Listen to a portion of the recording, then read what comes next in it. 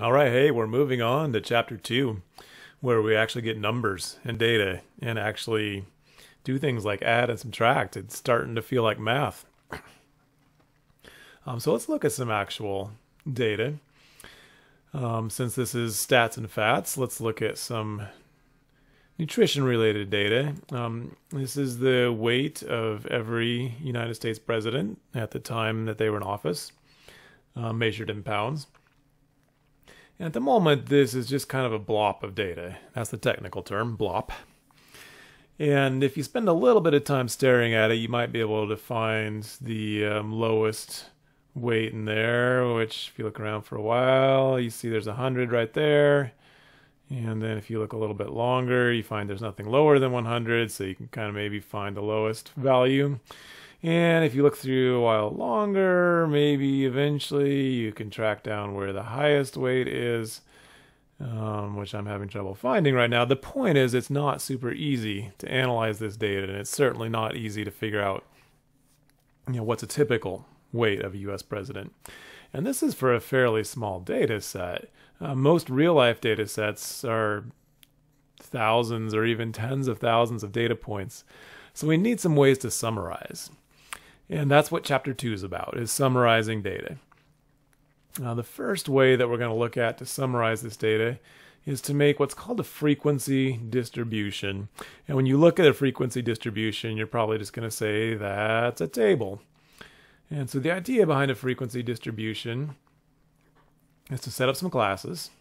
And I've made these classes already. Um, there's nothing magical about the ones I've made. You could have split it up differently. You might have decided that you wanted to go by 25. So you could have gone 100 to 124 and then 125 to 149, 150, so on. Um, I chose to split it up this way. Um, and the first thing we're going to look at here is frequency, and then we'll talk about relative frequency. Uh, so I'm just going to make a little dividing line here. Um, so frequency literally means how frequent is it, and um, it literally just means what's the count. Get rid of this little 100 over here. Okay. Um, so you would look through your table and you would say how many presidents fell in this first class here in 100 to 129 pounds. And when you look through, you will eventually find out that there is only one, that, that 100 right there, James Madison. Uh, so you'd say there's only one person uh, that fits in that 100 to 129. And then you look through and you figure out how many presidents weighed 130 uh, to 159. And this is probably the point where you're going to have to start, if you're doing this by hand, start crossing things off. Okay, we use that one. You find 130 to 159s. Okay, there's one. There's two. Uh, let's see, there's three. There's four. And there's five. And it turns out that's all of them. So there's five in the 130 to 159 category. And you just do this for the rest of the categories. It turns out 160 to 189 is pretty common. Uh, that's 26 of the presidents have had weights in that range. Uh, and you can fill in the rest of the table in a similar way. Uh, I've already done the counting, so I'll skip the tedium and just fill in the numbers here.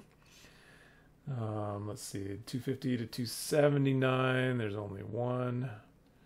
Uh, we have a couple empty classes here, and that's okay. We do want to still fill them in. There's no president that was in the 280 to 309 range. And there's no president that was in 310 to 339 range.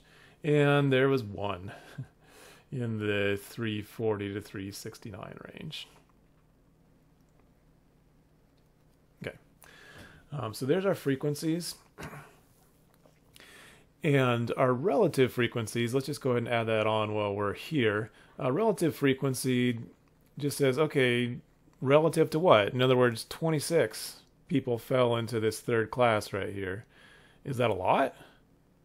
Or is that just a little bit? Uh, 26 out of a million or 26 out of 44 in this case. Uh, so relative frequency just says let's just turn it's another fancy word for percent. So it says let's just turn these frequencies into percents. So you do need to figure out that the total number of data points in this list uh, is 44. Uh, if you know your presidents, you know uh, Donald Trump is uh, the 45th president of the United States, but there are only 44 data points here. Uh, Grover Cleveland served as president on non consecutive occasions, so he's counted as the 22nd and 24th president, but he's only one person, only one data point. We've only had 44 different presidents. Okay, all that to say that for your data set, you'd figure out the total, which is 44 and you would then say, okay, this first class with only one person in it, what's one out of 44? And keep in mind to do that um, calculator wise, um, that's just 1 divided by 44. So you say 1 divided by 44. And to turn that into a percent, you move the decimal place two places to the right. So this is like 2, 2.27% this particular uh, calculator has a percent button. Hopefully you don't need that, but I guess if you want to hit that, you can. Um, uh, but anyway, you would say this is about about 2%. And I'm just going to round to the nearest whole percent. So let's just say 2%. And then you would do 5 divided by 44 for your next calculation. So 5 divided by 44. And that's about 11 percent. And again, I'm just going to round uh, to the nearest whole percentage. Um, so you can do 11 percent and then uh, 26 out of 44. 26 out of 44 is 59% roughly. So I think you get the idea. Uh, you can certainly fill the rest of these in. In fact, the other ones, uh, frequency of one should also be a percent. At 2%, these are obviously going to be 0%. 0%. And let's do the 3 and the 7 just to complete this table. Uh, let's see. 3 divided by 44 is about 7%, and 7 divided by 44 is about 16%. Um, so 7% and 16%. And this column, since we're talking percentages, of course, uh, should add up to 100%. Uh, you'll find occasionally uh, that these don't add up to 100% just because of rounding, and that's okay. Now, if you happen to get 99% or 101%, that's probably just rounding. Uh, if you got like 32% for your total, uh, then something has gone wrong and you should go back and check your numbers. Uh, let's talk a quick little bit of vocab and then we'll be done for this section. Uh, so let me erase um, these little marks here. Uh, so this vocab we will need for the next section. It's going to feel a little bit arbitrary right now, but um, but it will make sense when we get into 2.3. uh, so one thing we want to talk about, let's see, let me get rid of the data here. Um, one thing we want to talk about is how wide these classes are. And I'm going to claim uh, these classes have uh, 30 as their width. And th so that's the actual technical term uh, as class width.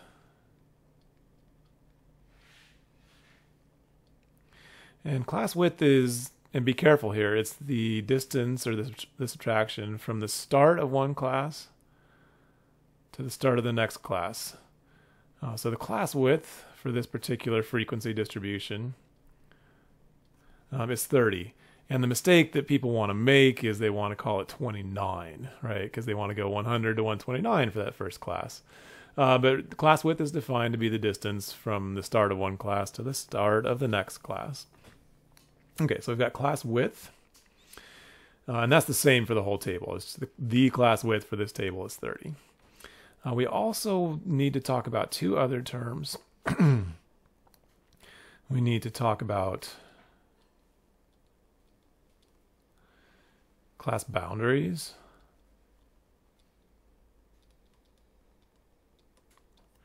And we also need to talk about class midpoints.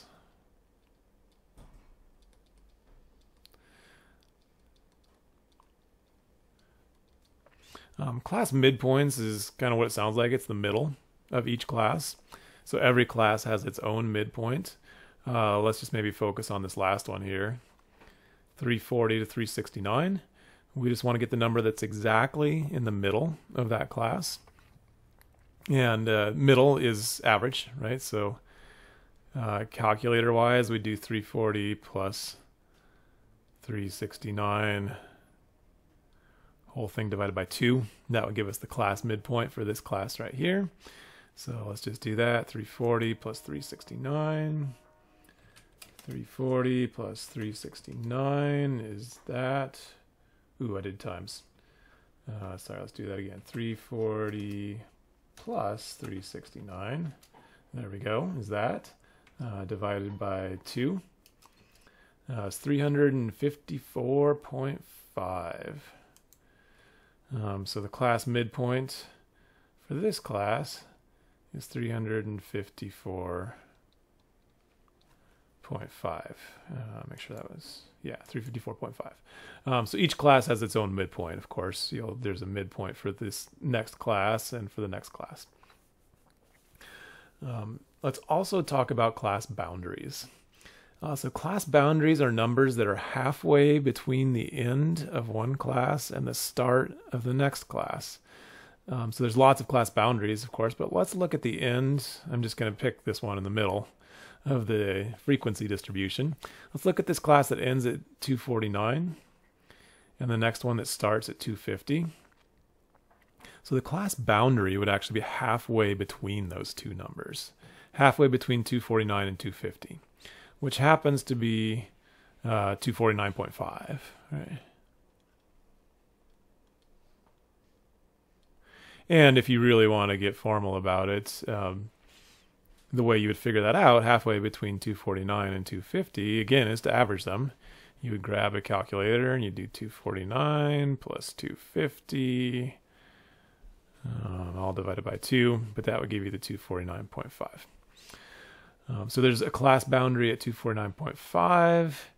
If you're looking up to the next one, halfway between 279 and 280, there's another class boundary at 279.5. And there's another class boundary at 309.5. Um, so the last thing I need to point out about class boundaries that's a little bit tricky is there's actually a class boundary after the last class. So there's one at 369.5 and there's a class boundary before the first class as well. And you kind of have to follow the pattern here. Uh, but the very first class boundary is half a unit before the start of the first class. So there's a class boundary at 99.5 then 129.5, 159.5, all the way down to 369.5.